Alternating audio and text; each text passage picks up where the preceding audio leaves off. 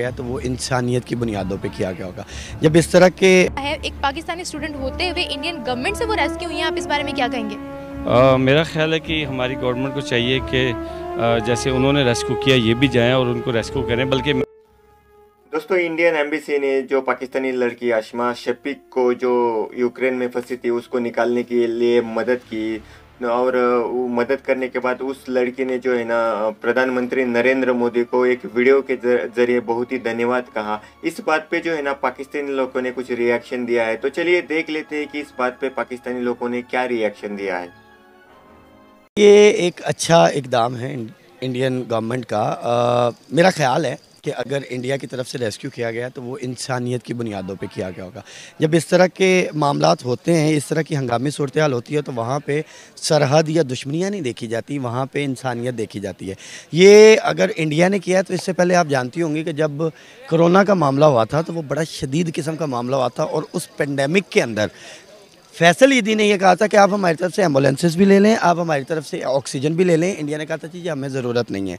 लेकिन हमने ये भी कहा था कि आपको अगर मास्क चाहिए, आपको अगर सैनिटाइज़र चाहिए, कुछ भी चाहिए तो हम आपको भिजवा सकते हैं। तो कहने का मकसद लोग जो है ना इंडिया को क्या मदद करोगे? जो तुम लोग जो है ना, अपने देश में जो भूख से मर रहे हैं, उन लोगों को जो है ना, खाना ला के खिलाओ। और तब जाके दूसरे देशों की मदद करने का सोचो।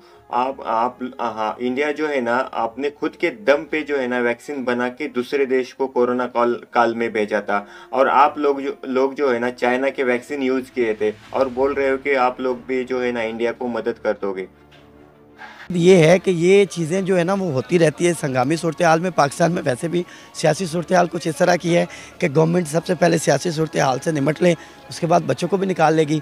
और, खैर, कुछ इस तरह के एलिमेंट्स इससे पहले होते रहे जब आपको याद होगा कोविड के अंदर चाइना में पाकिस्तानी स्टूडेंट फंसे हुए थे तो तब भी थोड़ी सी प्रॉब्लम थी निकालने में आ, मसले मसाइल रहे। लेकिन ये चीज़ें होती रहती हैं। इंडिया के पास जो है ना वो रिसोर्स भी ज़्यादा हैं वो ज़्यादा कैपेसिटी के अंदर लोगों को रेस्क्यू कर सकते हैं ये मानना चाहिए हमें। पाकिस्तान से ज़्यादा कर सकते हैं। तो अगर उन्होंने किया है तो ये उनका अच्छा कदम है। देखें ये ज़रूरी नहीं है आज उन्होंने किया है कल को पाकिस्तान जब होता है किसी किस्म का मामला तो पाकिस्तान भी बढ़ चढ़ के इंडिया के बहुत सारे लोगों का साथ देता है। इंडिया के बहुत सारे मामला जो है, उसके अंदर जो है, वो इंसानी, इंसानियत की बुनियादों पे वो बहुत ज़्यादा काम जो है, वो करता नज़र आता रहा है और आगे भी आएगा। तो ये कोई अच्छी बात है, इस पे हम ये नहीं कह सकते कि सर, मुझे ये बताएँ कि पाकिस्तानी स्टूडेंट्स को इंडियन एम्बेसी जो है, वो रेस्क्यू कर रही है? क्या इंडियन गवर्नमेंट इस वक्त ज़्यादा एक्टिवली काम कर रही है, अगर हम अपने आप से कंपेयर करें तो? मैंने आपसे पहले भी ये कहा कि एक्टिव ज़्यादा हमसे है या नहीं है, या कंपैरेटिवली हमसे ज़्यादा काम कर रही है, नहीं कर रही, ये कहना, इसके बारे में कुछ भी कहना कबल वक्त होगा। मसला ये है, मैंने आपको बताया कि उनके पास कैपेसिटी ज़्यादा है। और कई मरतबा ये होता है, देखें, आपने अपने हिसाब को लेके, अपने आप को देख के चलना होता है ना?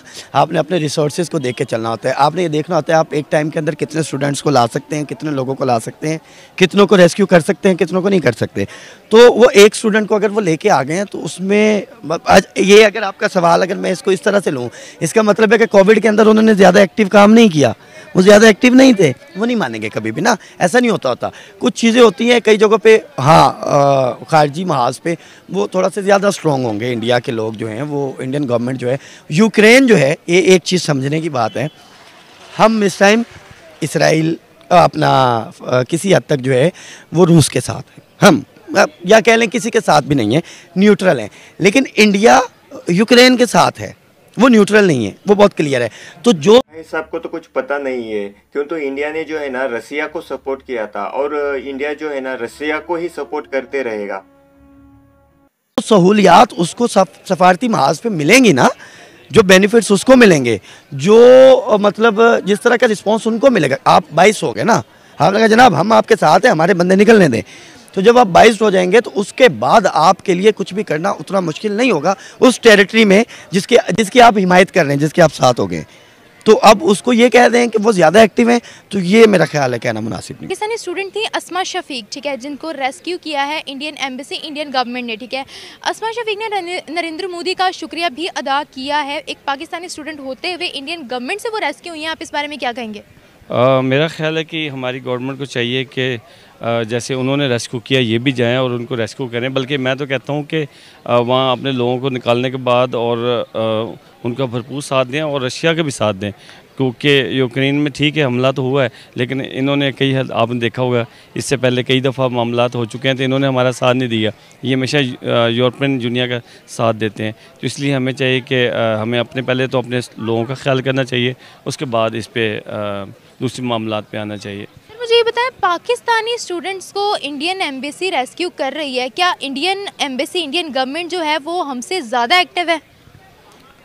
एक्टिव नहीं है, उनका हमेशा से ऐसा रहा है कि जब भी कहीं मसला हो ना तो वो अपने लोगों को रेस्क्यू करते हैं। जैसे लाइक आपने देखा अमेरिका अमेरिकन का भी यही है, वो भी ऐसे ही करते हैं। तो उनकी नेचर में है, हमारे यहाँ पे गवर्नमेंट तो हमारे अपने लोगों को नहीं रेस्क्यू करती तो वो तो बहुत दूर है तो इनकी नेचर में नहीं है। इनको परवाह नहीं होती, कोई भी हमारी गवर्नमेंट हो, इनको इससे कोई परवाह नहीं है कि हमारे लोग कहाँ, क्या मसला, मसाइल है, इनको कोई मसला नहीं है उससे। अच्छा उन्होंने अपने लोगों को तो रेस्क्यू किया ही है। पोलैंड में वीज़ा फ्री अपने स्टूडेंट्स के जो है वो एंटर करवाया। साथ ही पाकिस्तानी स्टूडेंट्स को भी रेस्क्यू कर रहे हैं। आप इस बारे में क्या कहेंगे? आप क्या उनकी गवर्नमेंट को अप्रिशिएट करेंगे? आ, इस मामले में तो करना चाहिए मेरा ख्याल है। इसलिए कोई भी अच्छा काम हो, अपने मुल्क के लिए जो करते हैं तो उनको अप्रिशिएट इस पर करना चाहिए। बात करें पाकिस्तानी स्टूडेंट्स की तो जिस वक्त पोलैंड में Indian student visa free enter हो रहे थे, पाकिस्तानी स्टूडेंट्स ने इंडिया का झंडा पकड़ा हुआ था ताकि वो यूक्रेन से एग्ज़िट ले लें इवैक्यूएट हो जाए वहाँ से। ऐसी क्या ज़रूरत पड़ी कि पाकिस्तानियों को इंडियन गवर्नमेंट का जो है झंडा उठाना पड़ा? आपको क्या लगता है जिस तरीके से इंडियन काम कर रहे हैं, क्या उनकी आईआर जो है इंटरनेशनल रिलेशन वो ज़्यादा स्ट्रॉन्ग है या फिर वो टेक्नोलॉजी में आ गए हैं जो उनके साथ मुख्तलिफ़ किस्म के ममालिक जो हैं उन पर उन पर इम्पैक्ट कर रहा है इंडिया जो है इंडिया की बात मान रहे हैं। क्या रीज़न है? अच्छा देखिए टेक्नोलॉजी के अंदर वो बहुत आगे हैं, ये मानने की बात है, पाकिस्तान से आगे हैं। इकोनॉमी उनकी बेहतर है, ये भी मानने की बात है। लेकिन, आप ये कह रहे हैं कि इन बुनियादों के ऊपर ये उनको फेवर मिल रही है तो नहीं, ये बिल्कुल भी नहीं है। ये तो एक बिज़नेस होता है। आपने दूसरे कंट्री को देना है, दूसरे कंट्री ने आपको देना है। आपके स्टूडेंट्स वहाँ पे जाते हैं, उनके, आपके पास आते रहते हैं। ये जो पाकिस्तानी स्टूडेंट्स ने झंडा पकड़ा हुआ था इंडियन गवर्नमेंट का तो देखें, कई मरतबा ऐसा होता है कि जल्दबाजी में पाकिस्तान के अंदर, बलोचिस्तान के अंदर भी कई मरतबा इस तरह के मामला तो है ना? तो ये इस तरह के प्रोपोगेंडे होते रहते हैं। आप किस तरह से कह सकते देखिए देखिए जब यूक्रेन पर बमबारी हो रही थी रुके यूक्रेन पर जब बमबारी हो रही थी तो उन्होंने ये थोड़ी ना देखना था कि ये पाकिस्तानी स्टूडेंट्स हैं इंडियन स्टूडेंट्स हैं। ऑब्वियस बात है जब पाकिस्तानी गवर्नमेंट की तरफ़ से कोई इनिशियल स्टेप नहीं लिया गया तो मजबूरन जो है फॉरन मिनिस्टर ने ये कहा है कि स्टेप लिया गया है और हमने इम्प्लीमेंट नहीं हुआ देखें कहीं किसी जगह पे मामला हो जाते हैं स्लो सुस्त रवि का शिकार भी हो जाते हैं। आपके आपको लगता है कि इस तरीके से हमें जो है जब आपके स्टूडेंट्स वहाँ फंसे हैं आपको इनिशियल स्टेप लेने की ज़रूरत है? आपको लगता है कि आपको सुस्त पने का इजहार करना चाहिए? पहले भी कहा कि देखें हर कंट्री के दूसरी कंट्री के साथ जो है ना कुछ ताल्लुकात होते हैं मामलात होते हैं। हर एक कंट्री दूसरे कंट्री को उस तरह से ट्रीट नहीं करता। अब यूक्रेन इंडिया को जिस तरह ट्रीट कर रहा है पाकिस्तान को उस तरह से ट्रीट नहीं करेगा। इंडियन स्टूडेंट को जिस तरह से ट्रीट किया जा रहा है वहाँ पे पाकिस्तानी स्टूडेंट्स को ट्रीट नहीं किया जाएगा। आपको नहीं लगता कि लोगों को जब तक हम मुतहद नहीं करेंगे जोड़ेंगे नहीं तब तक हमारा मुल्क तरक्की नहीं कर सकता? सबसे बड़ी रीज़न ही पाकिस्तान में ये है।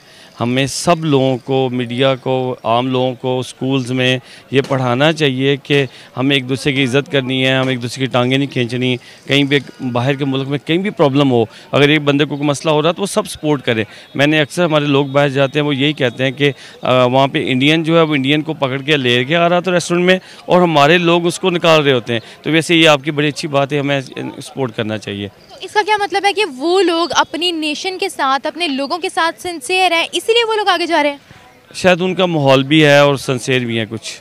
इतने आपस में वो कम से कम संसेर हैं बाकी के साथ आया नहीं है लेकिन ख़ुद आपस में वो संसेर हैं। स्पेशल जो हिंदू हैं आपस में वो बहुत संसेर हैं। अच्छा इंडिया जो है उसका काफ़ी मुल्कों के ऊपर इम्पैक्ट है ठीक है? जिस तरीके से पोलैंड में उनके स्टूडेंट्स जो हैं वो वीज़ा फ्री एंटर हुए हैं क्या रीज़न आपको लगती है क्या वो लोग टेक्नोलॉजी में आगे हैं? क्या एजुकेशन में आगे हैं? क्या रीज़न हैं जो उनके इकानमी भी बहुत स्ट्रॉन्ग हो रही है हर मुल्क के साथ उनके ताल्लुक भी अच्छे हैं क्या वजह है? First of all that our embassy should be rescue them not Indian So if somebody doing good job, so you have to appreciate them. That's what I should do that. अच्छा मुझे ये बताएँ पाकिस्तानी स्टूडेंट को Indian government Indian embassy जो है वो rescue कर रही है क्या इंडियन गवर्नमेंट इस वक्त हमसे ज़्यादा एक्टिवली काम कर रही है I hope so because uh, we have a very bullshit guy on prime minister. So all the Pakistanis are not on the straight path. So that's why I think तो आपको क्या लगता है कि इंडिया की गवर्नमेंट अच्छा काम कर रही है? Indian government is if it is doing for a humanity then it is okay if you want to achieve some political stuff that then is no good because Pakistan embassy should do that everything अच्छा sir उन्होंने आपको पता है कि रूस और Ukraine में जो भी मामला चल रहे थे कहा यह भी जा रहा है कि वर्ल्ड वॉर थ्री भी हो सकती है। इसी दौरान जो है इंडियन गवर्नमेंट ने पहला इनिशियल स्टेप लिया था और अपने स्टूडेंट्स को वीज़ा फ्री पोलैंड में एंटर करवाया था उनको रेस्क्यू करवाया था ठीक है? जबकि पाकिस्तानी स्टूडेंट्स उसी वक्त यूक्रेन में फंसे हुए थे। आपको क्या लगता है कि पाकिस्तानी गवर्नमेंट और इंडियन गवर्नमेंट का आप किस तरीके से डिफरेंस करेंगे? Pakistani government is a really is a political government, and Pakistani is a assigned government by the military. That's it. That's only I can say. Is a not elected prime minister, not elected government. I am a general public, but I can say that we are very poor people because we are lead by all the time in military, which is not. Sir मुझे ये बताएँ कि जिस तरीके से वो लोग अपने स्टूडेंट्स को रेस्क्यू कर रहे हैं पाकिस्तानी स्टूडेंट्स को भी रेस्क्यू कर रहे हैं और पाकिस्तानी स्टूडेंट्स ने इंडिया का फ्लैग पकड़कर भी यूक्रेन से निकलने की कोशिश की थी जिस तरीके से इंडिया आगे बढ़ रहा है हर चीज़ में इनिशियल स्टेप ले रहा है तो आपको इसके पीछे की क्या रीजंस लगती हैं Maybe he want to achieve some political stuff, but I I that Pakistani embassy should do that everything. जी। पाकिस्तानी लोग जो है ना इंडिया को जो है ना कभी भी दिल से शुक्रिया अदा नहीं करेंगे। इंडिया कितना भी अच्छा काम कर ले तो उन, उनकी कमियाँ वो पाकिस्तानी लोग निकालते ही रहते। तो दोस्तों इस वीडियो ये वीडियो आपको कैसा लगा हमें कमेंट करके ज़रूर बता दीजिए। और मैं मिलता हूँ अगले वीडियो में जब तक के लिए जय हिंद और जय भारत।